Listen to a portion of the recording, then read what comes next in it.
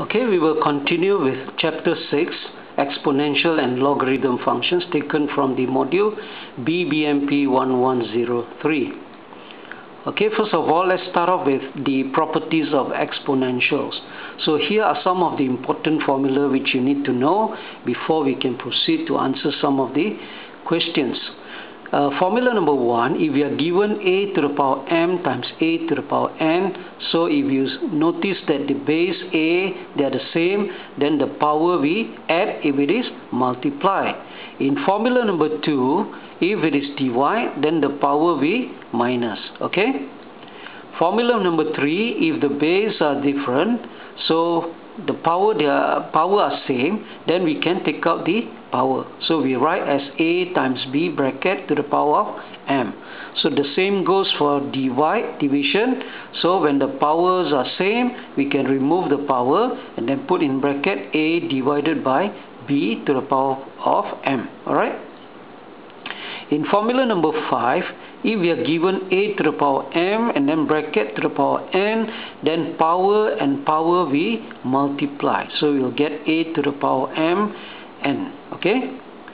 Formula number 6, if the power is a negative, we invert it to become positive. So we will get 1 over a to the power of m.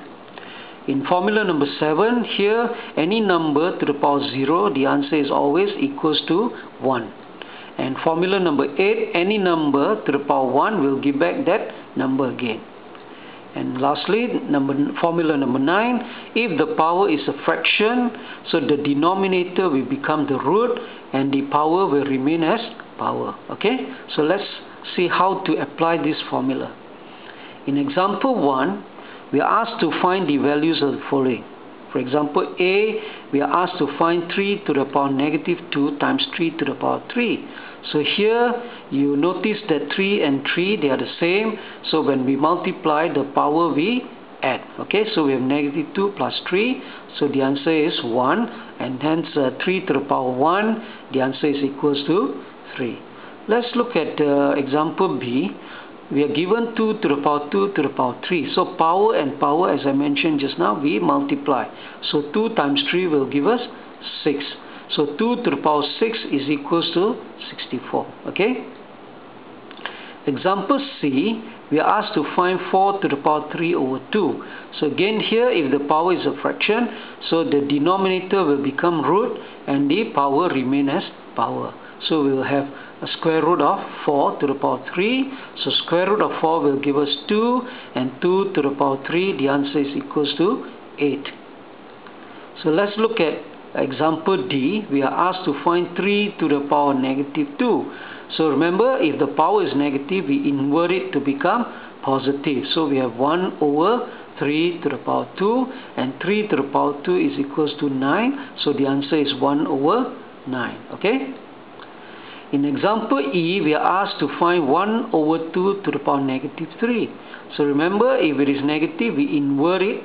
So we will get 2 over 1 to the power 3. So 2 over 1 is 2 actually. So 2 to the power 3 will give us 8. In example F, we are given 3 over 2 to the power negative 2. So same thing as example E. So we invert it in order to become positive. So 3 over 2 will become 2 over 3 to the power 2.